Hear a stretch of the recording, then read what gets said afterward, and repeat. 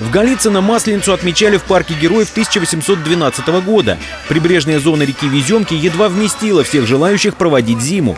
Торговые ряды, горячие блины и развлечения помогли встретить весну в отличном настроении. Звенигород на этот раз впервые праздновал Масленицу в новом статусе, как часть единого городского округа.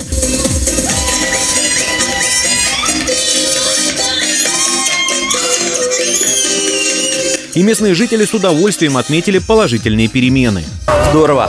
Особенно соломенные дорожки. Мы просто первый раз сюда попали, да, но просто, мне кажется, лучше весело, всего. Весело, детям очень э, развлекают их, э, очень, очень здорово. На Масленицу привели. привели. внука. И очень рады, что такой праздник и солнечный день. так хорошо И всех организовано. поздравляем с весной, с масленицей.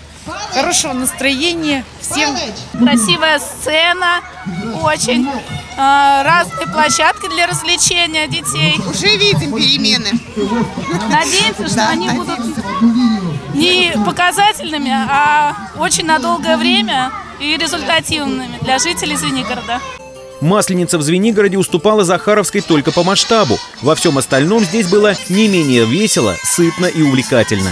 Дорогие гости, коллеги, друзья, праздник Масленицы – это необыкновенный праздник. Поэтому это праздник добра, счастья, мира. Мы от всей души и администрация Одинцовского муниципального района, и наш глава Андрей Робертович Иванов поздравляют вас с этим праздником.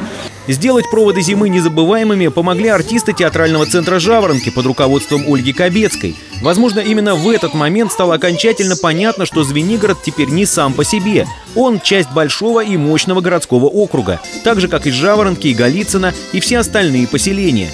Всего в звенигородских масленичных гуляниях приняло участие более пяти тысяч человек. Зима окончательно ушла из Одинцовского района, уступив место весне.